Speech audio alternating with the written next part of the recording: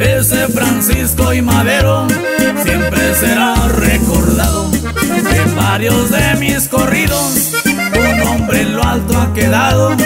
Ahora hablaré de la sota de oros majo en el rayo. El viernes 5 de julio del año del 2013, como a las 6 de la tarde, se hizo presente la gente a presenciar la carrera que se jugaría pariente.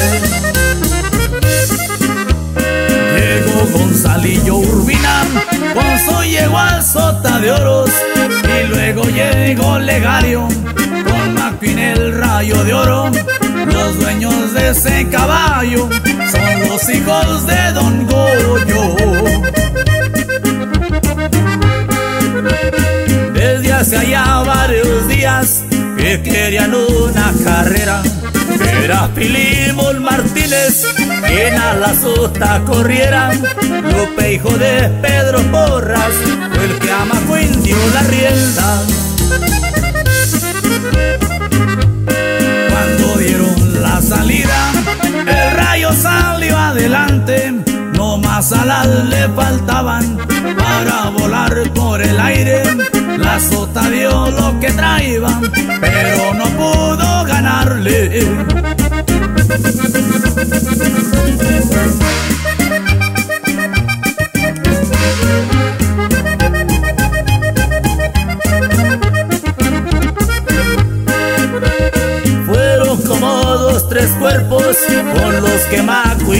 Venciera. Tres cartones de caguamas se ganó en esa carrera. Pues solo era algo amistoso, eso pude darme cuenta. La gente muy sorprendida con lo que allá había pasado, porque el rayito McQueen solo pasaba amarrado, caballo pelos de lote, ese día le ganó a la sota de Gonzalo.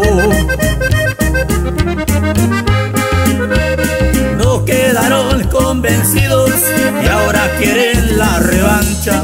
Quieren sacarse la espina para dormir bien en su cama. Mientras que el rayo McQueen sigue amarrado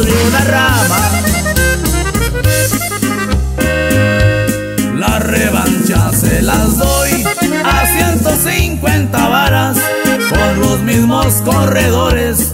No importa si pierde o gana, por 10 cartoncitos más viene la dos de caguamas.